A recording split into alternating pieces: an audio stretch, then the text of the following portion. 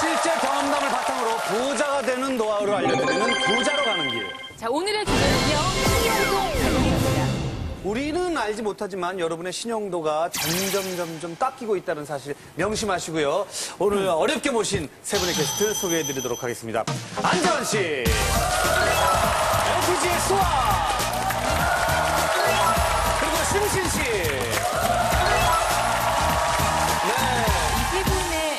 이야기 가운데 대한민국 국민이 가장 많이 범하고 있는 신용 등급을 떨어뜨리는 실수가 숨어 있습니다. 먼저 안재환 씨 사연입니다.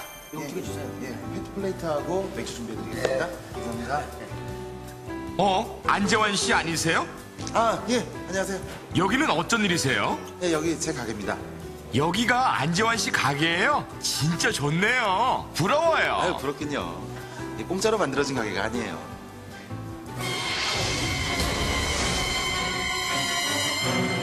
한잔해. 아, 아, 진짜 오랜만이네. 어? 맨날 전화통만 하고. 야, 축하한다. 너곧 2호점도 오픈한다며. 아, 며칠 있다 공사 들어가. 너 어쩜 이렇게 사업 수완이 좋냐? 아, 참. 네가 보증서로 대출받은 거 얼마 전에 다 해결했다. 잘 될 줄 알았어. 재현아, 고맙다. 너 때문에 살았다. 네가 보증 안 서줬으면 막막했을 거야. 내가 이 은혜 절대 잊지 않을게. 친구끼리 은혜를 무슨. 아, 맞아, 맞아, 맞아. 글쎄, 한 일곱, 여덟 번 정도 섰던 것 같은데요. 금액이 굉장히 큰 것도 있었고, 작은 것도 있었고. 근데 뭐, 문제됐던 적은 한 번도 없었어요. 정말 아끼는 사람하고는 동거를 한번 해봐라 그런 것도 있거든요. 동거를 하면서 더 신뢰가 많이 쌓여갔던 것 같아요. 그리고 안재환의 사업은 점점 더 번창하여 2호점 가게 오픈을 눈앞에 두게 된다. 필요 없어. 아, 그걸 어떻게 보름만에 끝내 안 사잖아. 사장님, 보름 안에 끝내주셔야 됩니다. 밤을 새서라도 해주세요. 저도 같이 밤샐게요. 자, 보름 안에 끝내주시면요. 제가 공사 끝나는 날 공사비 완납해드리겠습니다. 사장님, 부탁드립니다. 네? 밤을 새서라도 해야 돼요, 우리. 네? 해볼게. 아유, 나라면 해는 거지 뭐. 그래. 아유, 나도 얘기 들었지? 어? 이렇게 안재환이 당당히 선포를 하는 데는 그만한 이유가 다 있었는데 어, 회장님! 오셨어요? 어, 아니, 고생이 많군. 아유, 고생합니다. 멋지죠? 네, 이쪽에 다 그것은 가게에. 들어가는 비용 총 3억을 투자하기로 한 짐이 있었던 것. 천장을 되게 신경 많이 썼어요. 자, 이제 내일 모레면 오픈입니다. 안전 가게 2호 탄생입니다.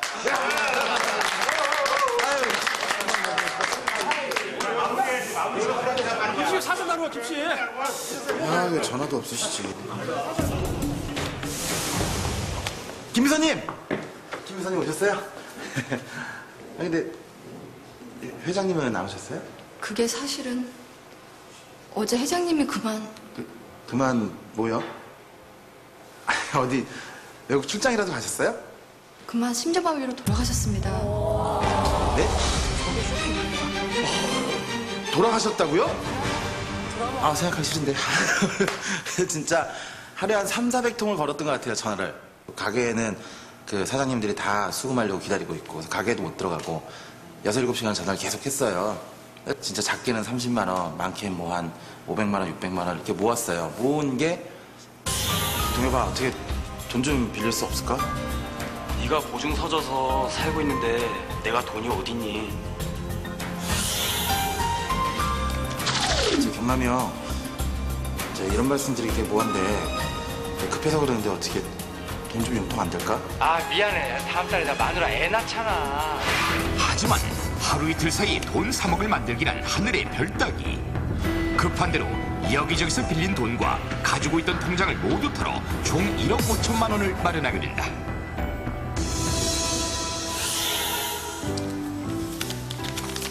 안 사장, 약속과 틀리잖아.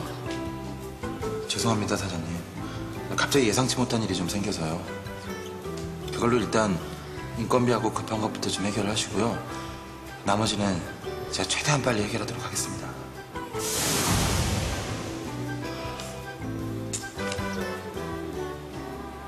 그 나머지가 이제 문제였죠. 나머지 뭐 갑자기 돈이 생기지를 않으니까 거기다가 가게라는 거는 그 인테리어 대금뿐이 아니고 뭐 초도 물량이나 인건비랑 그런 게 또 정말 엄청나게 들어가거든요.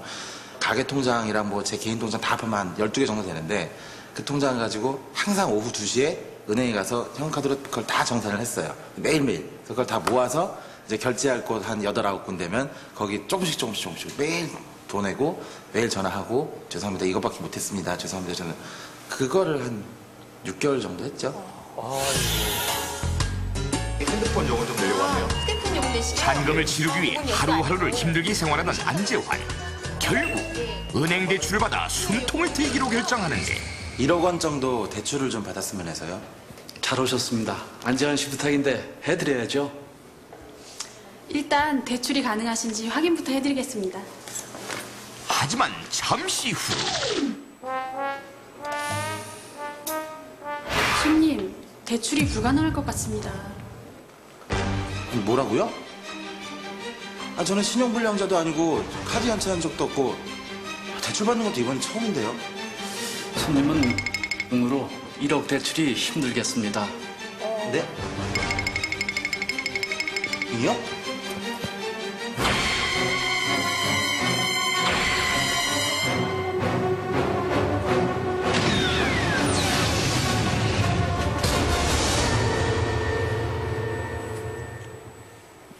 그래요. 야. 어, 일단 안재환 씨 잠깐 옛날 생각나.